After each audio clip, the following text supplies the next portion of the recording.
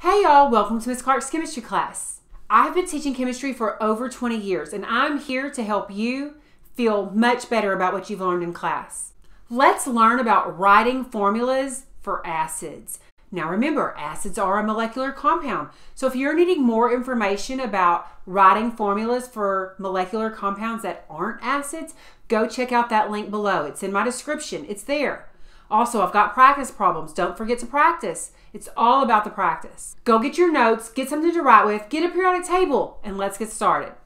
Okay, so when we're writing formulas for acids, let's remember that acids are molecular compounds. They are held together with covalent bonds. But since acids are kind of weird and they begin with hydrogen, they act like an ionic compound.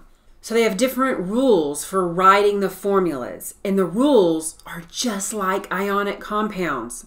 So hopefully this is not anything new. There are two types of acids binary acids and oxyacids. Binary acids contain the nonmetal that comes from the periodic table. A binary acid also just has two elements, a hydrogen, H, and something else. And so when we have a binary acid, we know it's binary because it has the prefix hydro and the suffix ic. So we get hydro, root word, ic. Oxyacids, a little bit different. These are acids that contain oxygen, and the oxygen is part of a polyatomic ion. There are two main polyatomic ion endings. Most of the polyatomic ions either end in ate or ite, like sulfate, carbonate, phosphate, nitrate, or we've got nitrite, sulfite, phosphite. And since there's two different endings to polyatomic ions, there's two different ways to identify them. If the acid contains a polyatomic ion that ends in ite, that ending has been changed to us, OUS. So if we see an acid that ends in us, we know that it originally came from a polyatomic ion that ended in ite. Ate changes to ic. So if we have an acid that ends in ic, we know that it originally came from a polyatomic ion with ate.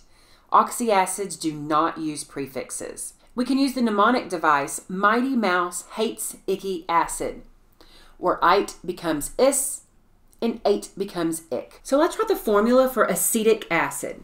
The first thing that we need to notice is that this acid does not have a prefix and it ends in ic. Since it ends in ic, that tells us that it used to end in ate. So this is acetate. And remember, acids begin with H and hydrogen is in group 1, so it's a plus 1.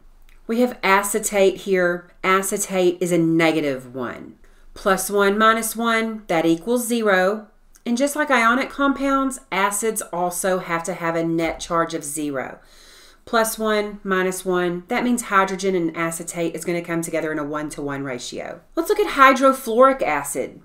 The things we need to notice here, so we notice here we've got hydro and ic. That means the second element comes from the periodic table. And since the root is fluor, that means fluorine. Hydrogen's in group 1, so it has a plus 1 charge. Fluorine's in group 17, it has a negative 1 charge. Again, 1 and 1, that equals 0. And since hydrogen and fluorine are both 1s, that comes together in a 1 to 1 ratio. So we just have HF for hydrofluoric acid. Let's look at one more example nitrous acid. We need to notice OUS.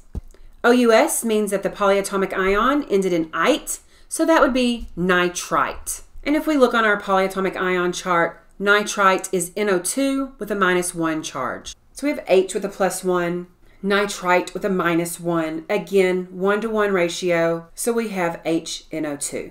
Okay, so now you should be a pro at writing formulas for acids. If you found this helpful, make sure and subscribe. Also, don't forget to share this link with your friends if they're struggling with writing the formulas for acids. Until next time, bye y'all.